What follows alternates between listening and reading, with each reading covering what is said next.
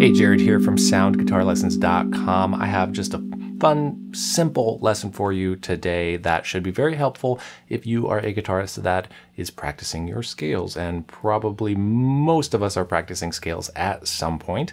Uh, we don't have to. Someone could easily be a guitarist who just only plays chords and never plays scales. But we're most of us are want to want to learn our scales, even if it's just for the theory, mapping out the fretboard, um, understanding um, melody in pieces of music and stuff like that. So I think we should all be um, working on scales um, very often, and that's why I have a free download that is all the main scales that we should know, and there's a link to that in the top of the description. And today I want to talk about um, doing scale runs that are smooth and kind of slick and light sounding. It's really good for our technique to incorporate slurs legato playing into our scale. So I'm just going to show you a very simple kind of descending scale run and exactly where to use the slurs. This is an exercise that I teach in my course called Top Notch Technique, and I wanted to share it with you here. We can apply it to any scales ever, and it's just very simple and prescriptive. If you add slurs, uh, which are rearticulating a note with the left hand without plucking it with the right hand, or without plucking it again with the with the plucking hand that you're using, if you happen to be a left-hand player, um, then that is legato playing. That is what a slur is. A hammer-on or a pull-off is a slur. So I want to give you this very simple way to work on this to make your your scale runs. This is the way you know I play all the time. My playing style tends to be kind of clean and kind of jazz oriented. If I run down a scale though, I'm gonna slur in very specific places. And so I'm gonna use this uh, G major scale form right here that I'll put on the screen to show you. And where we wanna slur is every time there are three notes on the string, we're going to play pluck, pluck, and then slur, which is pull off, on the last note. So pluck, pluck, pull off, pluck, pluck, pull off. When there's two notes on a string, you just pluck both of those. And then every, and that's usually on one string, unless that happens to be the first and sixth string. There's one string in these scale forms where there's two notes. Everything else has three notes with the particular scale forms that I, that I tend to use and teach.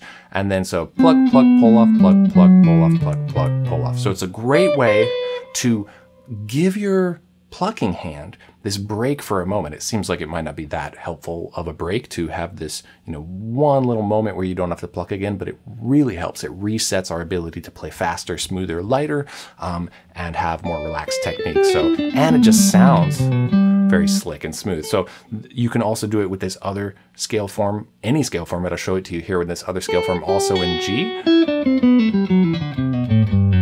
Okay, so it's a great way to work on things that in the intro of the video, I played it in this scale form. Okay, and if you work on that, then you're going to end up using that in your actual improvisations or uh, maybe you're composing lead guitar stuff or whatever. Um, and if you like the sound of it, great. If you don't like the sound of it, you don't have to utilize that. But I particularly like um, adding slurs into my, my, playing wherever I can. I want to do anything to be as relaxed as possible, which it helps a lot with that. And I do um, really love the sound of it as well. So here's the exercise again can work on getting faster with it or switching scales with it. And that's just two places to, to play it. I can play a lot faster than I would be able to if I plucked it.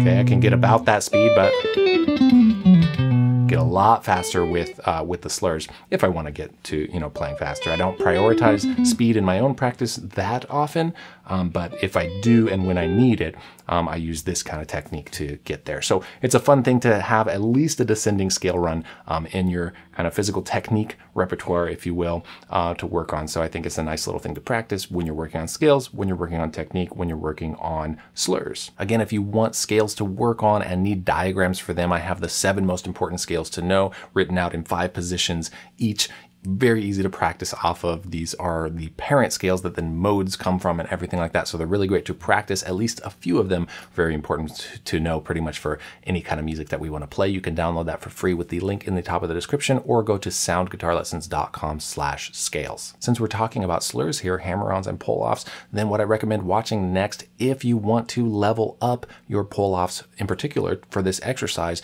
please check out my video about hammer-ons and pull-offs and the proper way to do them. It will make your pull-offs sound way more clean. And if you add that to this exercise, it's gonna sound really good and slick and intentional. So check that out if you want to. There'll be a link on the screen here if you're watching on YouTube or there'll be a link in the description if you want to go down there to get it. I post a new lesson video every week. I hope to see you in the next video. Thanks so much for watching. Take care and happy practicing.